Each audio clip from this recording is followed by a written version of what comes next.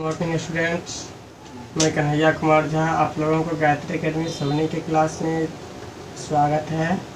हम आप लोगों के बीच क्लास नाइन्थ का सब्जेक्ट मैथ में एक्सरसाइज सोलह पॉइंट टू का दस नंबर हिसाब लेकर के आप लोगों के सामने हाजिर हूँ।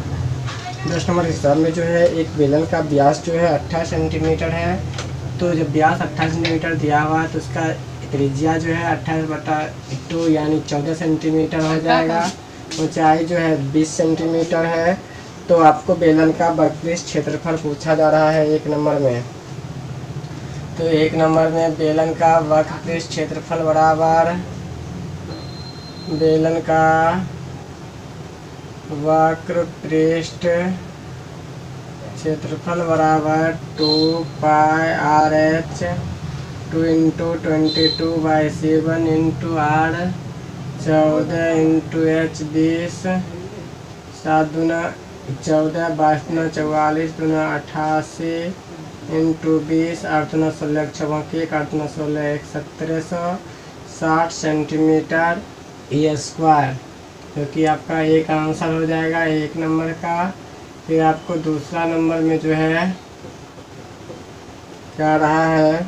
बेलन का संपूर्ण पृष्ठ क्षेत्रफल बेलन का संपूर्ण पृष्ठ क्षेत्रफल बराबर संपूर्ण पृष्ठ क्षेत्रफल बराबर फार्मूला होता है two pi r into r plus h तो टू इंटू पाई का मान बाईस बटे सात इंटू आर जो है आपको चौदह इंटू चौदह प्लस एच बीस सात दूना चौदह बाईस नौ चौवालीस दूना अट्ठासी इंटू बीस दस तीस चार चौंतीस अट्ठासी गुना हम चौंतीस करेंगे।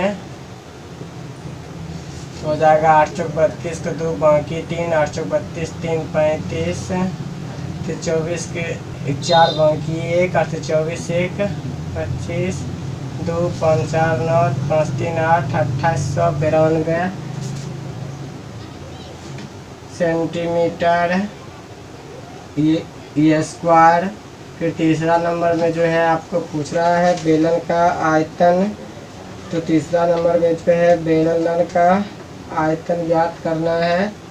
तो बेलन का आयतन बराबर, बेलन का आय, बेलन का आयतन बराबर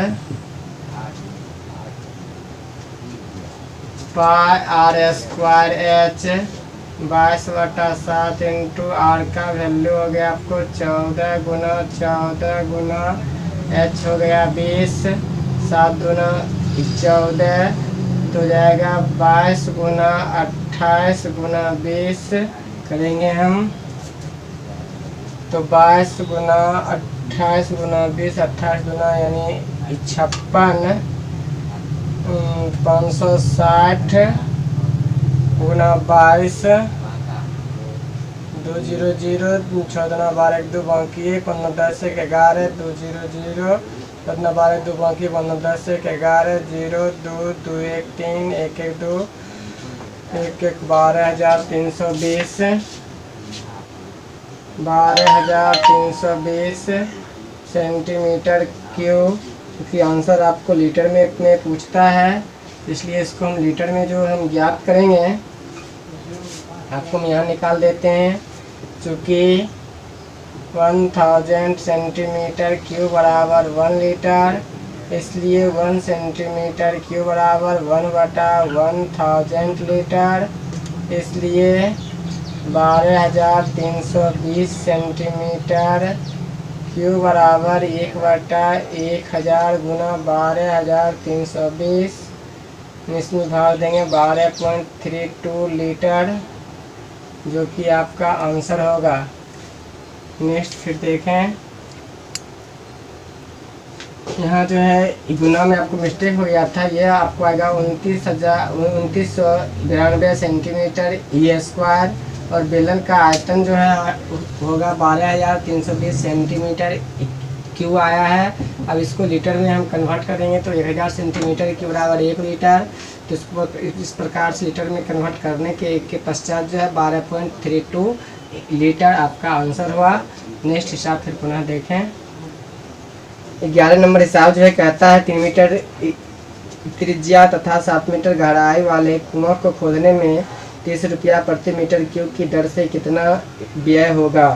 तो आपको दिया दिया गया है गिवन आर बराबर थ्री मीटर, यानी कुआँ की जो है, त्रिज्या जो है आपको कितना है? थ्री मीटर है। गहराई जो है कितना है? सेवन मीटर है।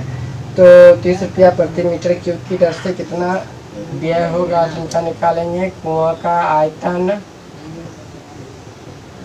कुआँ का आयतन बराबर फार्मूला होता है pi r square h pi का मान बाईस बटे सात इंटू आर जो है थ्री गुना थ्री गुना सात सात सात इकट गया बाईस दिया छियासठ गुना तीन छतरी अठारह एक आठ बंकी एक छतरी अठारह एक उन्नीस एक सौ अंठानवे मीटर क्यूब अब कहता है क्या? चूँकि एक मीटर क्यूब खोदने का दाम बराबर चूँकि एक मीटर क्यूब खोदने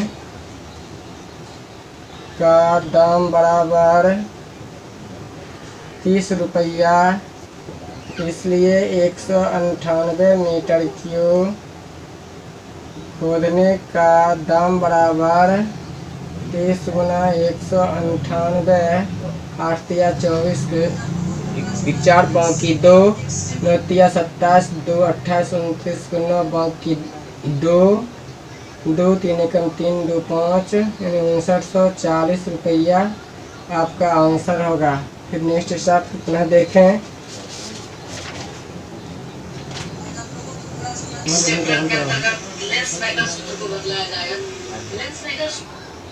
हाँ तो प्यारे बच्चों ट्वेल्व नंबर हिसाब जो है कहता है, एक समृद्धाकार बेलन का आयतन 2310 मीटर क्यू है। तथा आधार का व्यास 14 मीटर है तो बेलन का वक्त क्षेत्रफल ज्ञात करें।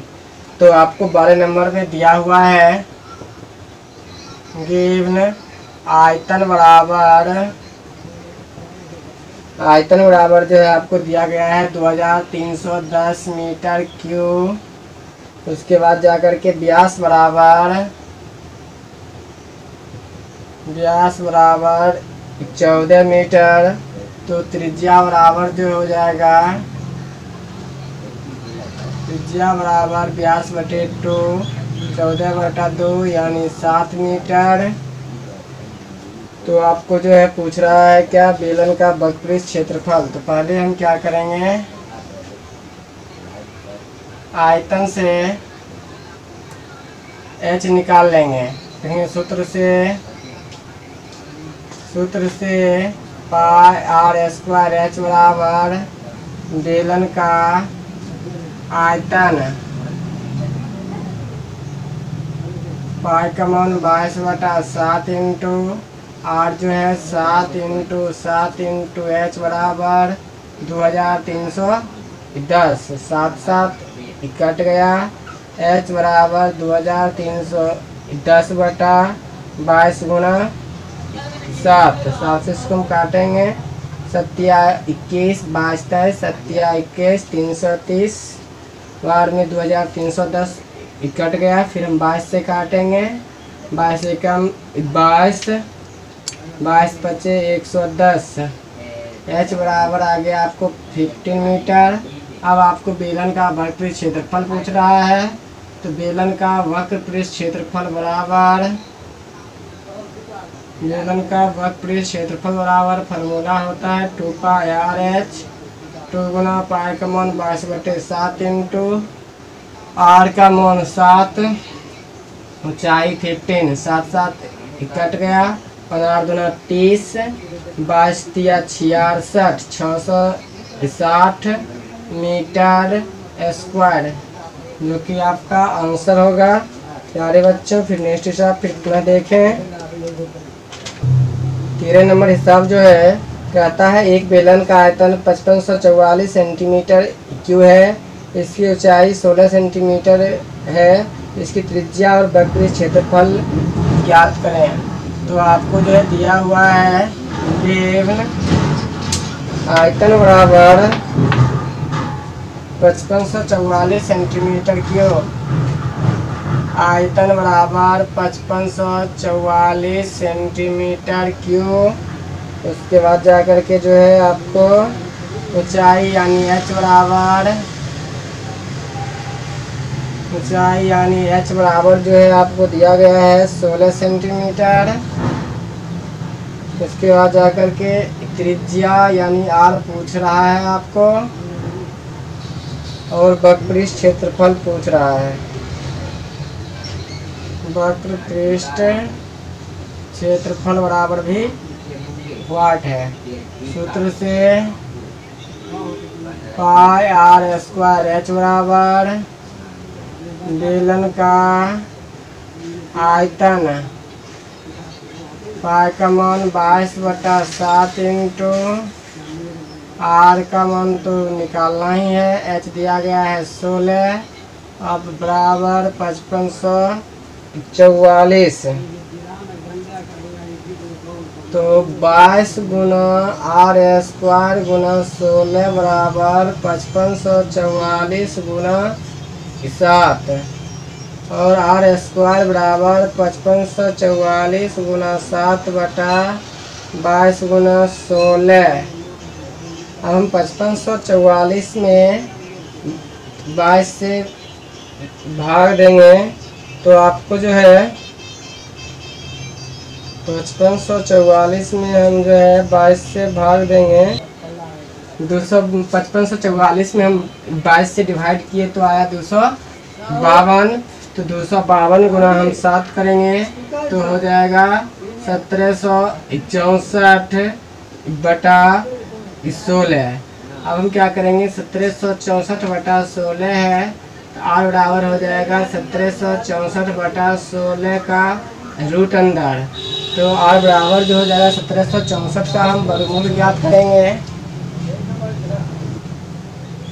तो आर बराबर सत्रह सौ चौंसठ का वर्गमूल जो है बयालीस और सोलह का वर्गमूल चार आया। अब हम क्या करेंगे? बयालीस में हम चार से डिवाइड करेंगे। तो आपको हो जाएगा दस पॉइंट पाँच। यानी त्रिज्या जो है, हो जाएगा दस पॉइंट पाँच सेंटीमीटर। आपका आंसर होगा। फिर पूछ रहा है वक्र क्षेत्रफल। तो बेलन का वक्र पृष्ठ क्षेत्रफल बराबर फार्मूला हो जाएगा two pi r h. Two into pi का मान बाईस बटा सात इंटू आर का मान बयालीस बटे फोर इंटू एच जो है सोलह। चार चौक सोलह सात चौक बयालीस टू गुना बाईस गुना छः चौक चौबीस। चौबीस गुना अड़तालीस गुना हम बाईस करेंगे तो हो जाएगा आपको